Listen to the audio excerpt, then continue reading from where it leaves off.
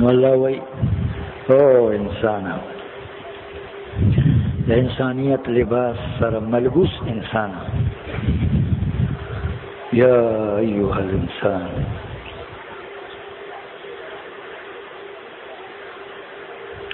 کریم مالک دې منلې او کنه دې منلې یو دې منلې او که شریک دی ور سره پیدا کړی دی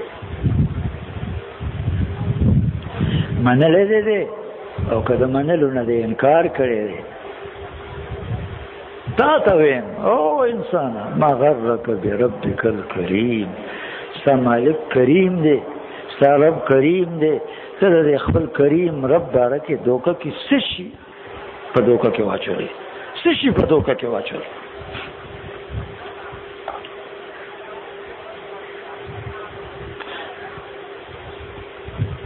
نو دوکه دو طریقو باندې شو د دوکې دو طریقې شوې یو دا طریقه شو چې د نیکه نه پس الله مو د حفاظت وکي دا وجب شکار شه څه شه ما غوند نه کی بل ځوان شته چې وکي ما غوند خبره بل څوک شته چې وکي ما غوند قرباني او مهنت بل څوک شته چې وکي دوکه کې پریاست ونیک وخت ونیک وخت تا ته خود دې خبره توفیق کریم رب درکړي ستا دا خبره خو به کریم رب قبلې ته د وجب شکار شوې لاړې په دوکه کې پریاست ما غوندې روجي بل څه هم لا ساتلي دي یو موز د جمع نه نه پټوله میاش کې به جمع شوی نه دی یو موز نه نه به جمع شوی نه دی هر موز د جمع موز می تکبیر الله سره کړی ما غوندې روجم لا چا ساتلی دي هر پښمنی نه چې را پاسې دلم تهجد می کړی دي او د هر افطاره په وخت کې می دعا کړې ده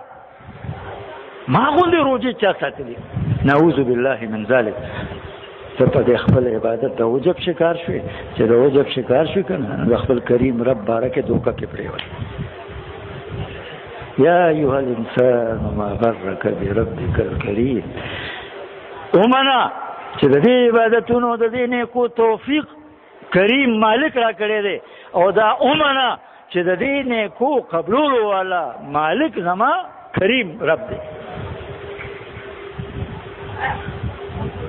خوش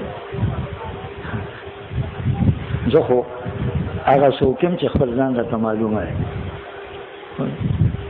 دا هغه څوکم چې ما ته خپل ځان معلومه ده زما څه حیثیت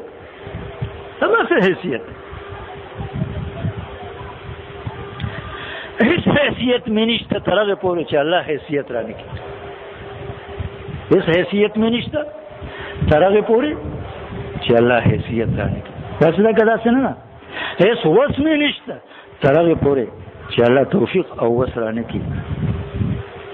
دا دوکه کې پریوتل دي الله دې بچ کړي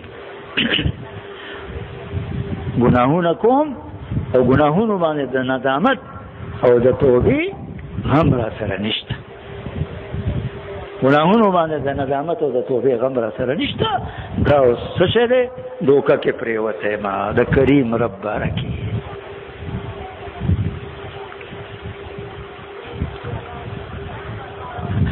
ګناهونو باندې د توبې او د ندامت غم خو سکه ګناهونو باندې د توبې او د ندامت غم خو سکه زه ورځ په ورځ ما نه دا شی جوړیږي چې په خپل ګناه باندې او په خپل نافرمانه باندې دا خپل ناشکرۍ باندې فخر کوم لګیم څه کوم فخر کوم لګیم خپل کمال غنم خپل هنر غنم ما غوندم څوک دا کار کولی شي لکه دا ما چې وکړو دا ما چې څنګه دروغ جوړ کو ځان مې بچ کو مال مې بچ کو عزت مې بچ کو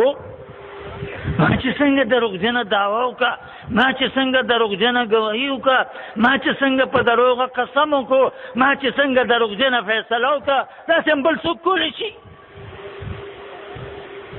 ګناه باندې خپېمانه کېدل خو سکه ګناه باندې خپېمانه کېدل خو سکه چې د ګناه باندې ګناه باندې زو رس په ورځ زما فخر زیاتیږي ما ته خپل کمال ښکاری ما ته خپل هنر ښکاری ما ته خپل ترقی ښکاری مین له یو دوه کبل سره یا ایو الانسان ما غرک بربک الکریم او د انسانیت لباس سره ملبوس انسان ته د خپل کریم رب بارک اله څه شي په دوکه کې واچوي دویم د دوکه شکل لري خبره ګرانه نه کاسانه دوګه کې پراته یو ځنه چې تاسو وایئ چې دا خو مونږ په دوګه کې نه یو پراته دا خو يهود په دوګه کې پراته دي مونږ په دوګه کې نه یو پراته نصارا په دوګه کې پراته دي مونږ په دوګه کې نه یو پراته هنود په دوګه کې پراته دي مونږ په دوګه کې نه یو پراته کفار او مشرکین په دوګه کې پراته دي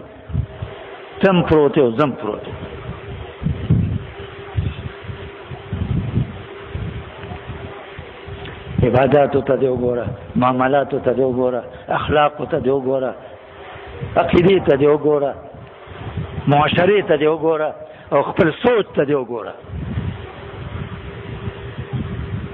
خپل سوچ ته دی وګوره خپل سوچ ته دی وګورم ګورم او دی ګورم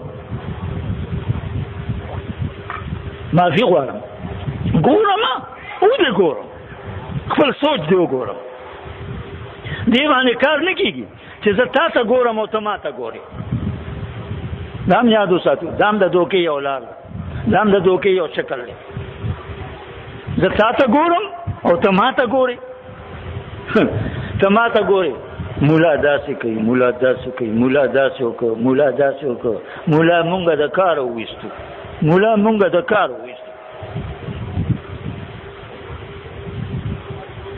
خوش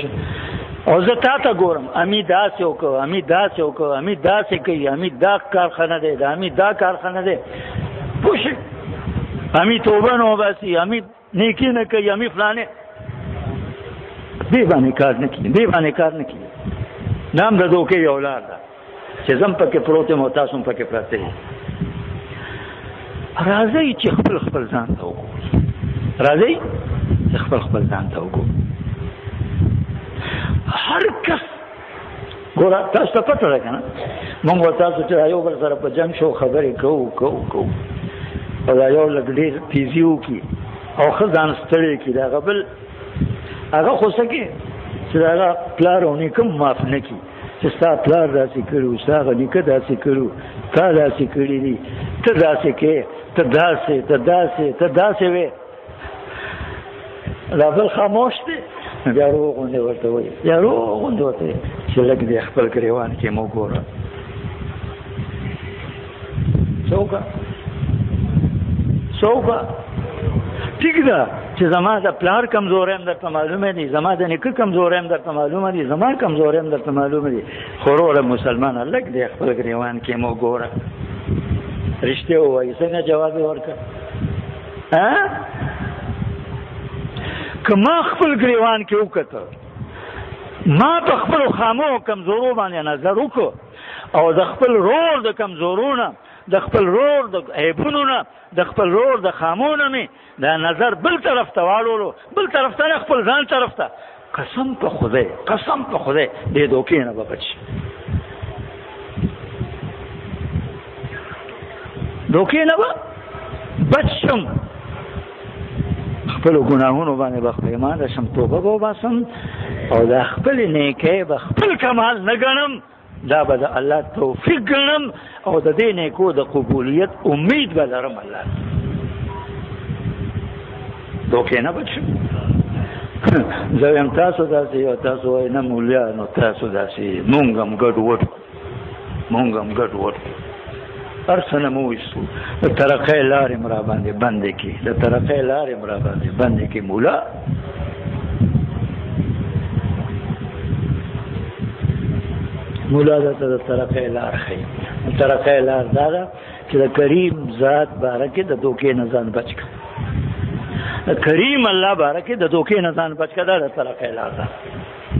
د عجب شکار نشي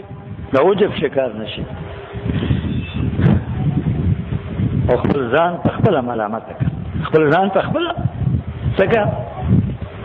تخپل ګناه باندې فخر کول ولا جوړ نشي چې دا دا ګناه اے تخپل ګناه باندې دوام او مواظبت او همیشوالی کول ولا جوړ نشي چې داسې همیشواله پکې او دا خپل ګناه داسې خپل کمال غني همیشواله پکې او دا ګناه خپل کمال غني چې بیا په آخر کې خپل پاسماندګانو ته خپل بچو ته خپل رسو ته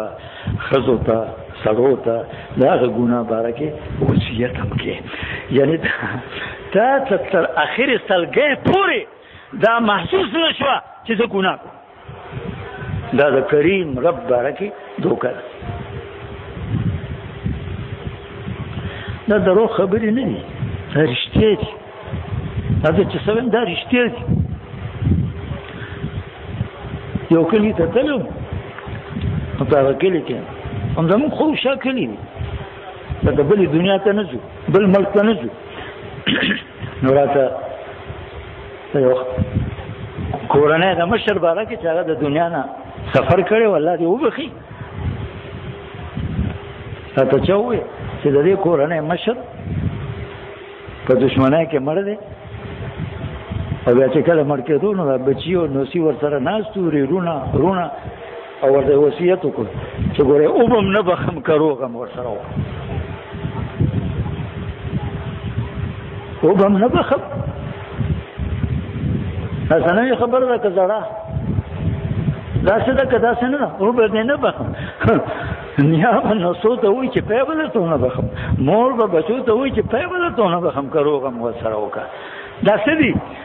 نه د کریم رب باره کې دا مسلمان په دوکه کې پروت دی د کریم رب د لوی کرم باره کې دا مسلمان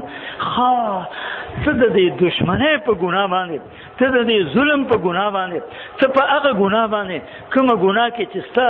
د دنیا تاوان دی کوم ګناه کې چې ستا د آخرت تاوان دی کوم ګناه کې چې ستا د ایمان تاوان دی کوم ګناه کې چې ستا د اسلام تاوان دی کوم ګناه کې چې ستا د عزت تاوان دی کومه ګناه کې چې ستا د غیرت تاوان دی ته په دغه ګناه باندې داسې کلکې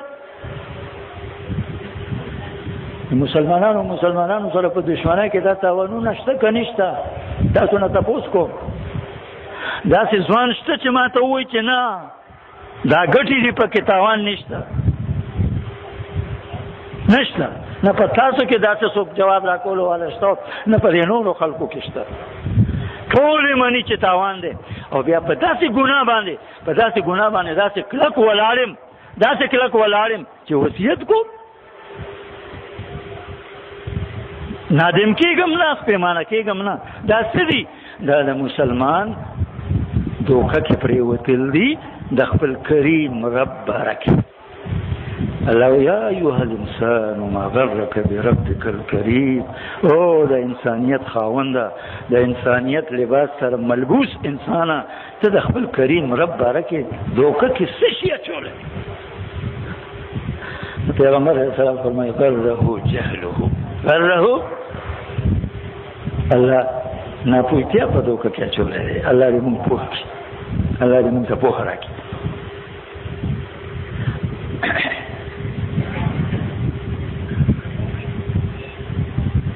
خبرې ډېرې ډېرې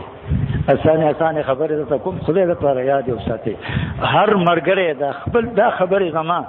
خپل ځان د پاره وره مونږه مونږه چې دا څه خبره وورو کنه چې دا چا دښمنۍ دي الله دې ټول مسلمانانو ټول دښمنۍ په دوستۍ او ورورولۍ بدلې کړي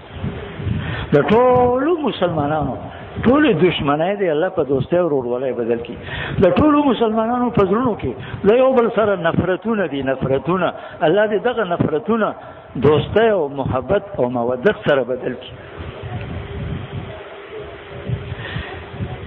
نو چې دا چا دښمنی نه کنه څنګه د چا چې دښمنی دی هغه د الله د دښمنونو خلاص کی او د چا چې دښمنی نشته الله دې د دې حفاظت وکړي نو چې د چا دښمنی نه کنه او د دښمنی خبر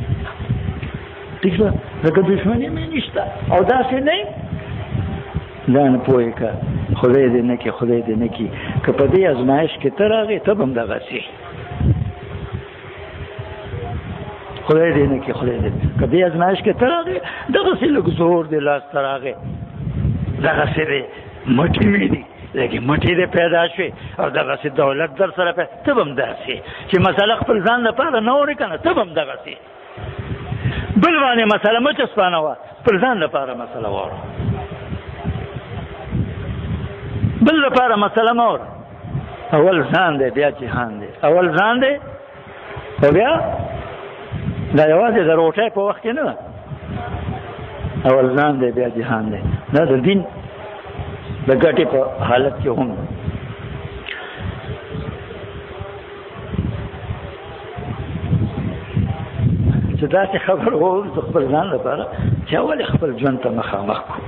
کو الله زه خو د وجب شکار تا توفیق را کر روجه نو ساتلې تا توفیق را کر تا توفیق را کر تا بچکم د دې روجه د شپو او د روجه د ورځو د بیا د بینا د بیا د بینا بچما او بیا زه په دې باندې برید تاوم چې ما داسې روجې نیولې دي چې داسې بچیانې نیولي داسې ګرمي مې په روجو کې برداشت کړې ده چې داسې بچیانې برداشت کړي داسې شوګیري مې کړې دي او دومره تلاوتونه مې کړې دي او دومره ذکرونه مې کړې دي چې داسې بچیانې کړي دا دوکه ده الله دې موږ تاسو ټول بچ کړي